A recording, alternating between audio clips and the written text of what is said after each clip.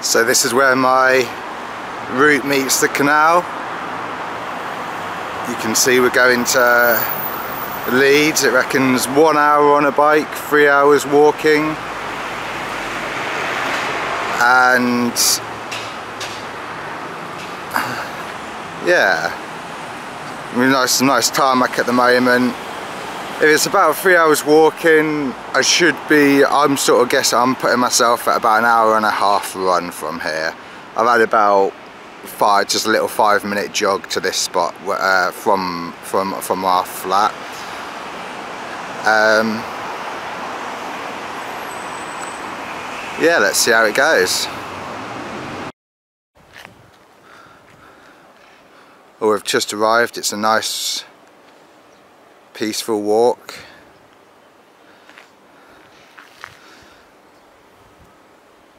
And I'm just listening, all I can hear is my, my footsteps on the ground and my, and my breath, which is great.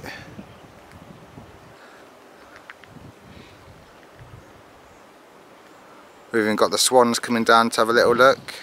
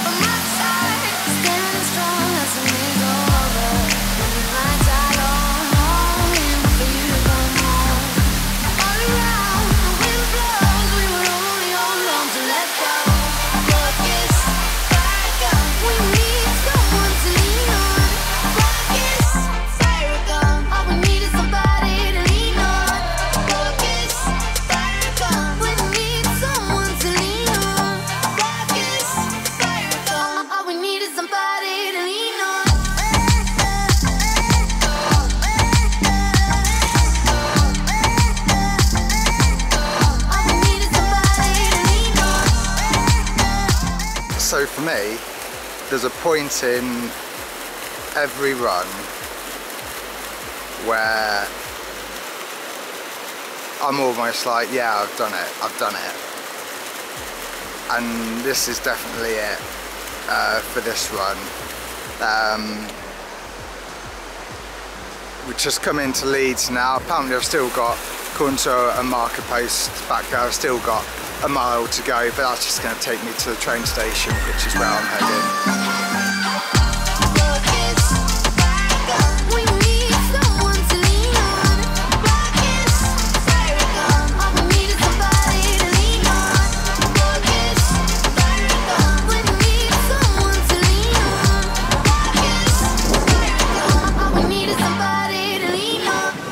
See that's that's where the canal comes down in Leeds.